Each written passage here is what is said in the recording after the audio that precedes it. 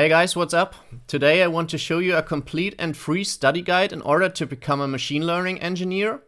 I tried to put a minimal list together that doesn't overwhelm you, but I think this list is good enough to equip you with enough theoretical knowledge and also practical experience to get started in the industry.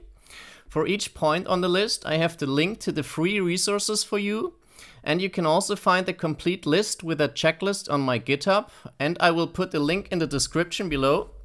So let's get started. But before we start, I want to say a few important things.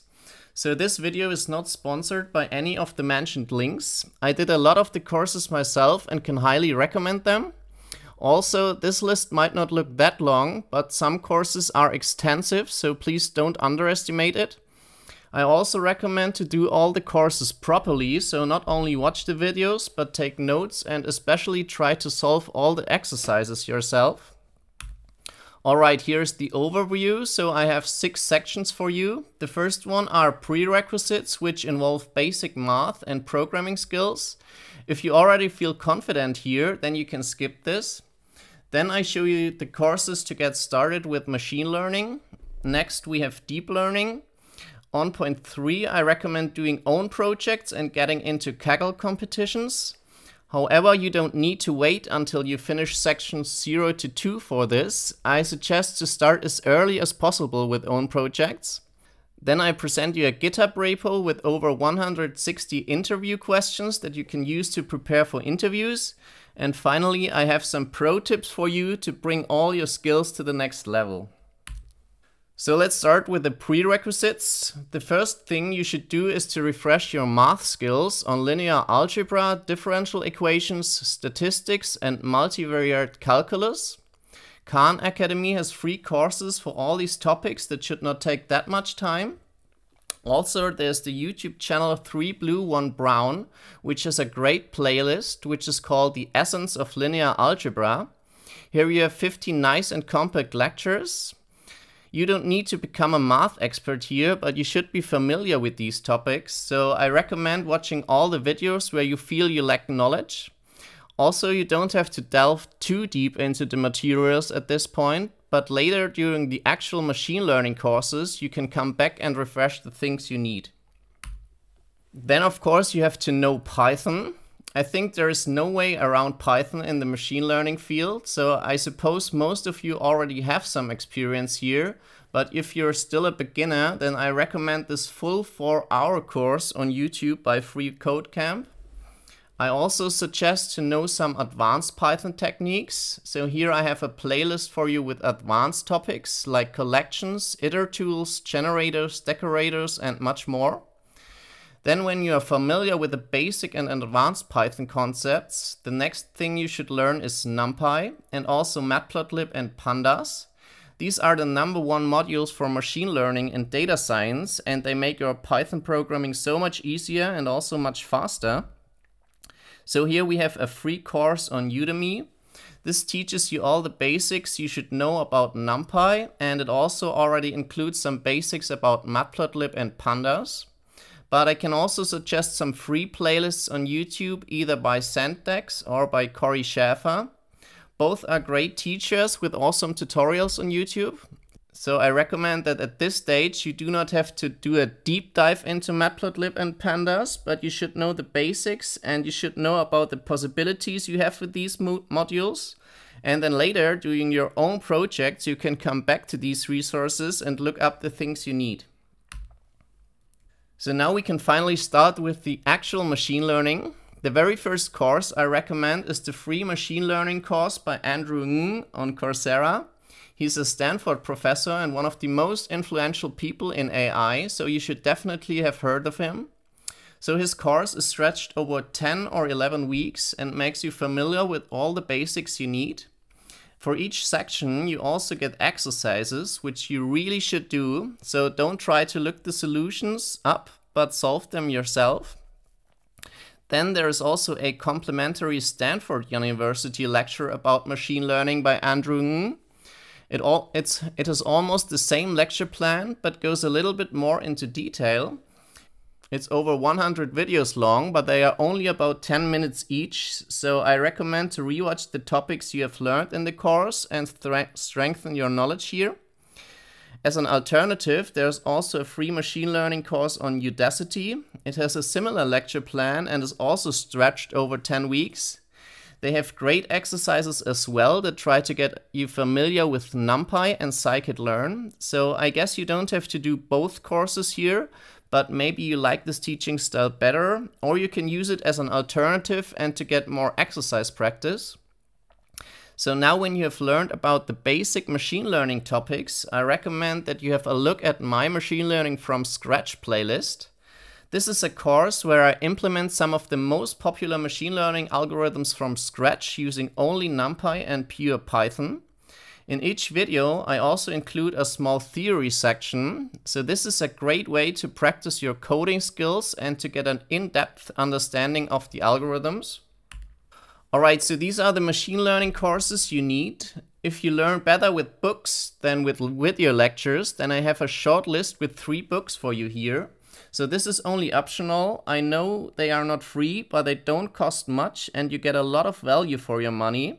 So I can recommend these three books, Hands-on Machine Learning with Scikit-learn, Keras and TensorFlow, Python Machine Learning, and Introduction to Machine Learning with Python. Now we can move on to deep learning. So the first lecture here I recommend is again a lecture from Stanford University.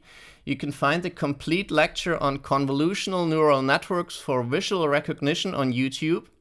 This is a great lecture which teaches you the essentials of neural networks, especially convolutional neural networks, and how we apply them for tasks like object detection or segmentation. Then I recommend that you learn a deep learning framework, so either PyTorch or TensorFlow. I, I suggest PyTorch since the syntax is a little bit more intuitive and the next course on this list uses PyTorch a lot. So the official website has some written tutorials that you should check out and you should do at least the 60 minute blitz tutorials. I also have a complete beginner course on YouTube that you can check out. So right now there are 15 different short videos that should be enough to teach you all the basics for this framework. Now the last point on the deep learning part is also the biggest and most important point. This is the fast.ai course. Fast.ai is an awesome site. They have the mission to make deep learning easier to use for everyone and to get more people from all backgrounds involved. They have two essential courses that you should do, which is the Practical Deep Learning for Coders course, part 1 and part 2. Both assume that you already have advanced coding skills and that you have access to a computer with an NVIDIA GPU. They provide extensive video lectures about all the necessary topics and they put high emphasis on strengthening your practical skills. So the course takes multiple weeks to finish and is not so easy, However, when you are done with this one, you should feel comfortable in tackling your own real-world deep learning projects. Okay, so this is the minimum number of courses I recommend to you. I have two more optional theoretical lectures for you here if you are interested in reinforcement learning or natural language processing. Stanford has complete lectures on these topics on YouTube as well, so you can check them out if you want. Now let's move on to part three. So this is another essential part of your study plan and, and I cannot stress this enough. You have to do your own projects to get experience. As a resource, there's only one website that you need and that is kaggle.com. So Kaggle is an awesome website and claims to be the world's largest data science community, which I think might be true. On their website, there are two essential things. Number one is the site with free data sets.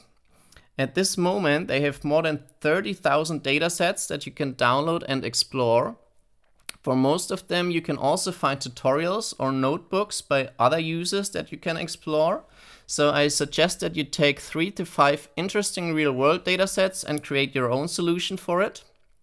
The second important part on their site are the competitions, here you can tackle real world problems that even have prize money for the best solutions. Now the money is not important here, but it's great that you can review and evaluate your solutions and compare them with others. Then you can reiterate and optimize your models, models, which will give you a great motivation and also a great exercise experience. So I think this is the only website you need for point three. If you are still unsure what projects you should do, then I also have an article for you here with eight fun machine learning projects for beginners. And again, I think you should not wait with your own projects until you're done with the deep learning section. Instead, you should start as soon as possible with own projects. So I recommend doing the prerequisites section if you have to, and then also the first machine learning course on Coursera, and then try to start a beginner project on your own. Okay, so that's all the things you need. I think if you do all the courses properly and do enough coding and projects on your own, then at this stage you should be ready for the industry. If you want to have help with interview preparation, then I can recommend this repo on GitHub by Alexey Grigorev. He put together a list with over 160 data science and machine learning questions along with the answers. So please check this repo out and see if you can solve the questions on your own. Now as a last part, I have some pro tips for you to bring your skills to the next level. Number one and two are create your own projects and show what you have learned and get into Kaggle competitions. So I know I've already told you this, but once again, this is super important for your skills. You should practice as much as possible here. And as a great side effect, when you show your projects on GitHub or Kaggle, then recruiters might become aware of you. The next tip I have is to take a famous machine learning or deep learning paper and try to reproduce their algorithm or their neural network. Or you can start your own blog about machine learning or deep learning and show what you have learned. And last but not least, you can contribute to machine learning or deep learning related open source projects on GitHub. For example, to sklearn, to PyTorch, or to the fast.ai library. Alright, so these are the things you need. I hope you enjoyed this video and I hope you get started with machine learning and enjoy these courses. You can find this list on GitHub where you have also a checklist for each of the points and can track your progress.